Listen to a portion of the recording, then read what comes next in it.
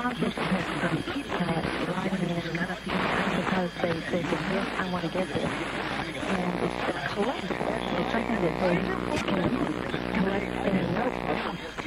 And have a lot of questions and on one topic. And have something that they can give to others use to protect others. And, and on that topic, on this um,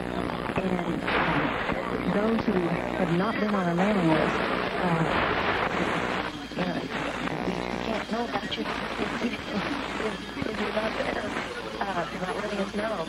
Uh, give us uh, your address if you'd like to, to the mailing list to receive this. And people uh, have been uh,